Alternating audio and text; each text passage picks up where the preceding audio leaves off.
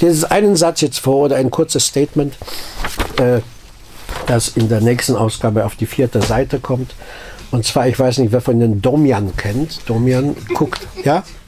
Sie gucken lieber öffentlich-rechtlich statt RTL? Radio. Radio, okay, gut.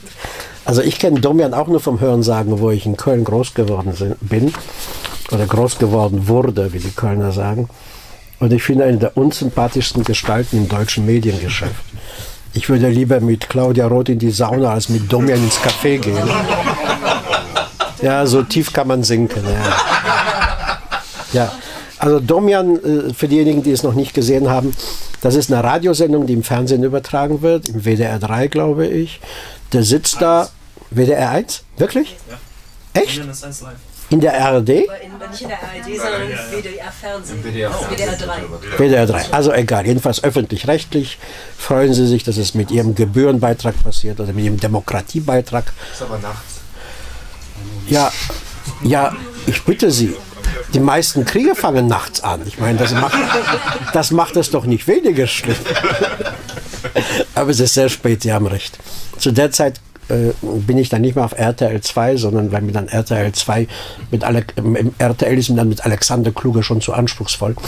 Ich schalte dann um auf RTL 2. Das ist, das ist noch richtig gutes Fernsehen. Also jedenfalls Domian sitzt da, hat so, hat so Kopfhörer um die Ohren und es rufen Leute an und er berät sie dann. Erstmal habe ich eine unglaubliche Abneigung gegen Leute, die davon leben, anderen zu sagen, was für die gut ist.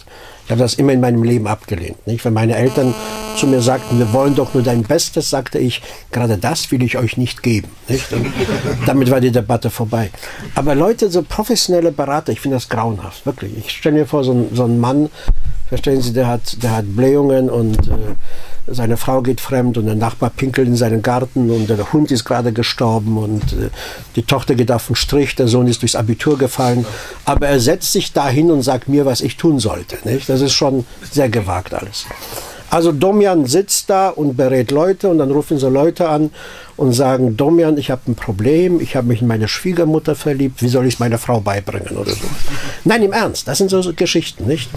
Oder Domian, ich bin jetzt 40 Jahre verheiratet und äh, habe jetzt entdeckt, dass ich doch eher auf Jungs stehe und also unglaubliche Geschichten.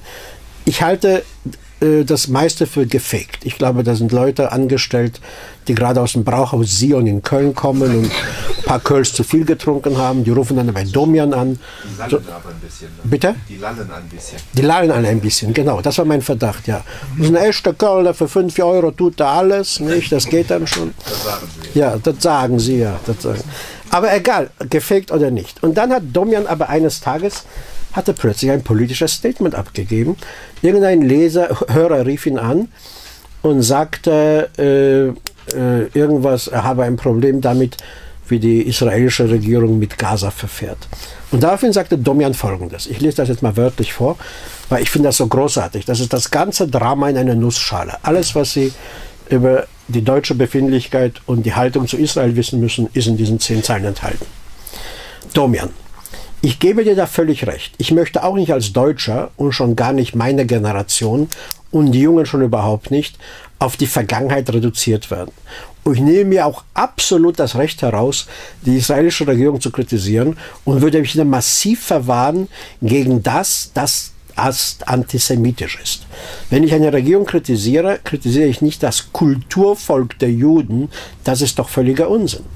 Ich habe sogar manchmal den Eindruck, dass tendenziell in unseren Medien zu israelfreundlich berichtet wird und dass das Leid, was innerhalb der Palästinenser oder innerhalb des palästinensischen Staats passiert, dass das gar nicht so transportiert wird, wie es eigentlich sein müsste.